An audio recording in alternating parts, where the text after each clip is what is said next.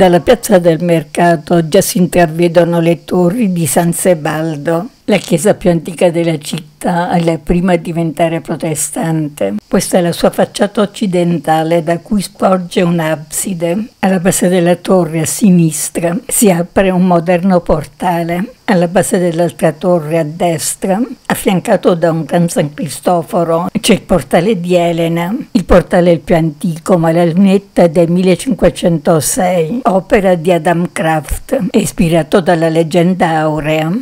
Merita anche il Gran San Cristoforo, un uomo anziano ma ancora possente. Indossa un'ampia tunica, si appoggia ad un bastone robusto e nodoso. Sulle spalle al bambino Gesù lo aiuterà ad attraversare il fiume. Ecco ancora le due torri ed il fianco meridionale, nel quale si aprono due portali gotici. In questo all'estremità occidentale quattro colonne sostengono gli archi a sesto acuto.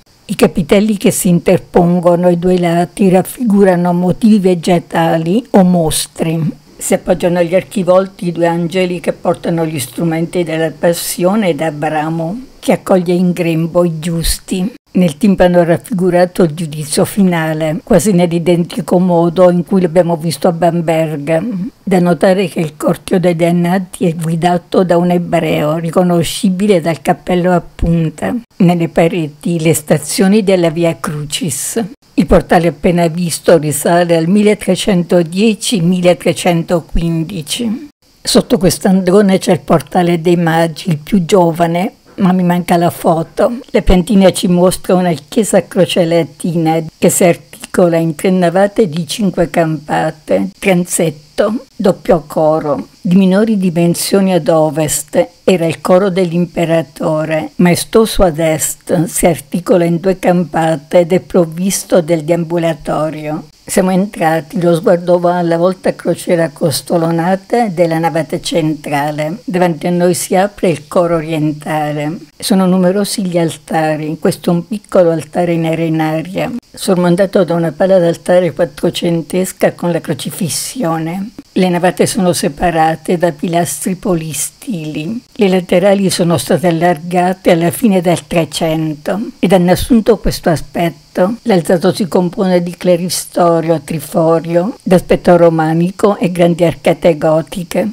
La navata centrale che all'interno ricorda lo stile tardo-romanico con cui si è dato la alla costruzione. I lavori erano iniziati tra il 1230 e il 1240, iniziando dal coro orientale. Nel 1273 era avvenuta la consacrazione di questa basilica a doppio coro e a triplice navata. All'epoca era stata dedicata a San Pietro. Ci vorrà più di un secolo, bisognerà aspettare la seconda metà del XIV secolo affinché la chiesa sia dedicata a San Sebaldo. San Sebaldo è stato un eremita del luogo che già in vita aveva compiuto miracoli. Mi avvio per la navata nord per raggiungere il coro est. Ai pilastri si addossano grandi statue. Questo è l'uomo dei dolori, una volta collocato all'esterno, in modo inconsueto e disposta per traverso. Questa Madonna che tiene in braccio il bambino del 1438.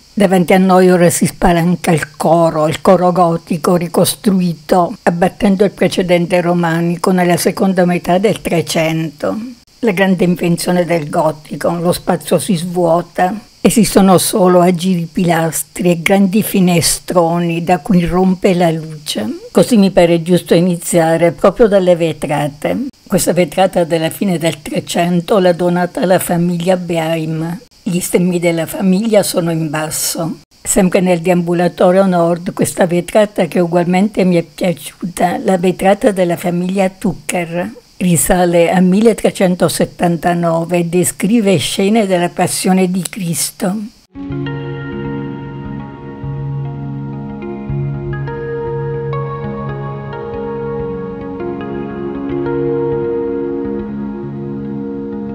Queste invece sono altre vetrate.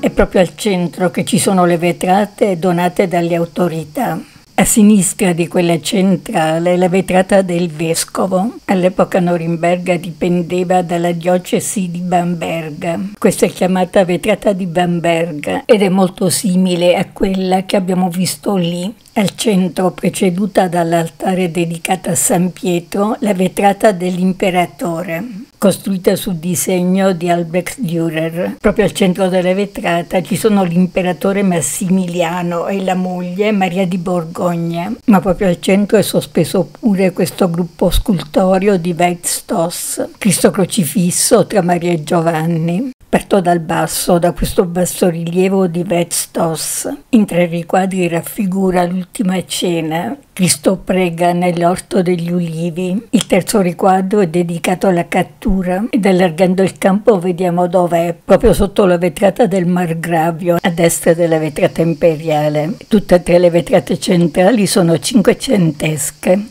Anche questa è su disegno di Dürer. Ancora vetrate, queste sono del lato sud.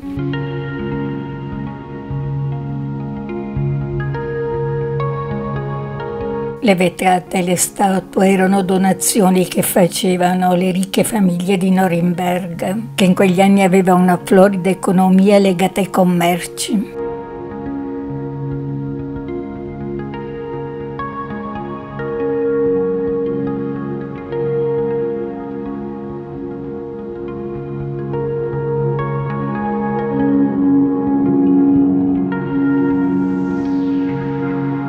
Proprio al centro del coro orientale c'è la tomba di San Sebaldo. La cassa interna è del primo Trecento, in rovere rivestito d'argento. Poi agli inizi del Cinquecento si è chiesto allo scultore Peter Vischer il Vecchio di rivestirla di una struttura d'ottone. Progetta un tempio a tre arcate che lascia a vista la struttura di legno interna. Sui peritti dispone grandi statue di apostoli. Piccole statue con episodi della vita di San Sebaldo sono dappertutto. Appoggia la pesante struttura su file di chiocciole. Lo scultore mette circa dieci anni a completare l'opera. Viene dall'esperienza tardogotica, ma nel sepolcro di San Sebaldo segue i canoni del Rinascimento italiano, soprattutto il ritorno alla classicità, come appare ben chiaro da queste due figure di donne. Ripasso dal deambulatorio per andare via.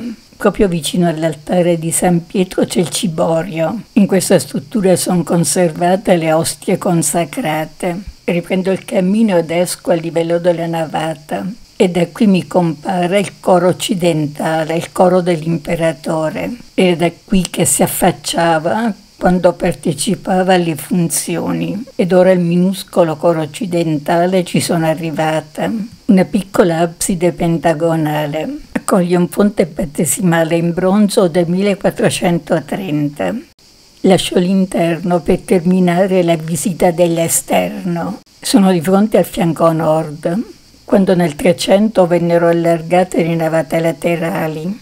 Anche in questo fianco furono costruiti due portali, questo è quello dedicato a Maria. La narrazione si dispone in due ordini. In basso la dormizio, con Gesù che accoglie l'animula e di seguito il trasporto, con gli ebrei che intralciano. In alto l'incoronazione. L'altro portale va sotto il nome di portale degli sposi. Viene raccontata la parabola delle vergini savie e delle vergini stolte. Queste sono quelle stolte che hanno già finito l'olio della lampada. E per ultima un'occhiata alla grande abside. Riattraversiamo il ponte, altre visite ci aspettano.